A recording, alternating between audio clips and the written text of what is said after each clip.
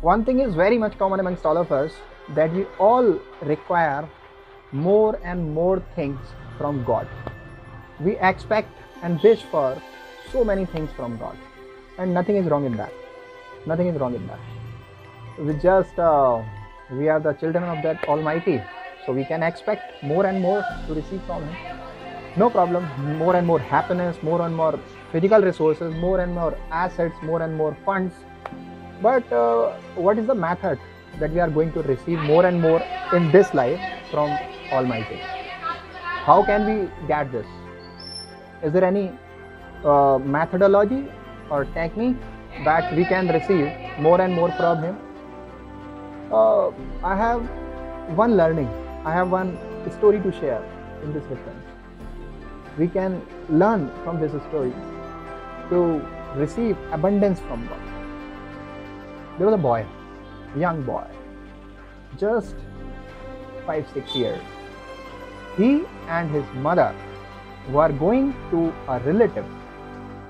They reached their relative, and uh, relative welcomed him, and uh, relative welcomed him by way of giving, uh, serving him welcome drink or snacks or something, so many things, and they were enjoying at the same time. Meeting was going on. Meanwhile, that relative uncle just take out some box that was full of chocolates and toffees. He put that chocolate and toffees filled box before that young boy and he asked him to pick up the chocolate and toffees therefrom. But that boy refused. He was not just uh, taking out or picking up the toffees and chocolates from that box. Would you like to know what then happened? His mother also asked him to pick up the chocolates and toffees therefrom, but he did not. Why he did not? Uh, we will come to know later. Now, what happened? The intensity of giving chocolates and toffees with those relative uncle increased to that extent that he was asking again and again to re- get the toffees and chocolate from that box to this boy but he was refusing every time. Then what happened? Uncle himself put his hand into the box and take out the handful chocolates and toffees therefrom and offered to that boy and this time boy received the toffees and chocolates which was handful from relative uncle he received and put them with him. Keep them with him. Then what happened?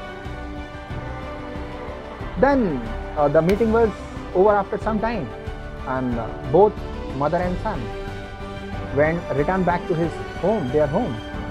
And uh, reaching the home what happened? Mother asked this little boy please tell me why did you not receive toffees and chocolate from that box in spite of I was insisting a lot, in spite of uncle was insisting a lot, and I also allowed you for the same. Why didn't you pick up? Would you like to know what was the reply of that young boy? The reply of that young boy was, My hands are too small.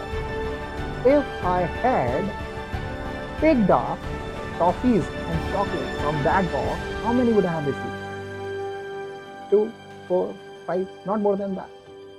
But when I did not pick up myself and waited for the time, and uncle gave, gave me the handful chocolates and toffees from that box, then I received so much, which was even more than my expectation because of the big hands of that relative. Now, what happens? Mother came to know the fact why this young boy skillfully received the large quantity of toffees and chocolate from uncle. Another point is here is a catch. We all are just equal to that young little boy in the eye of Almighty God. And if we put our imaginations before Him, that please give me this house, please give me this car, please give me this much amount, then it is going to be in the limit of our imagination, which are limited to a particular extent. We cannot think beyond that. And maybe God wants to give us, Almighty wants to give us large quantity, abundance of resources, abundance of benefits in our life. And we may lose this abundance, receiving opportunity from Almighty, if we ask little, little things from Him by using our limited imagination. Should we do so? No, never.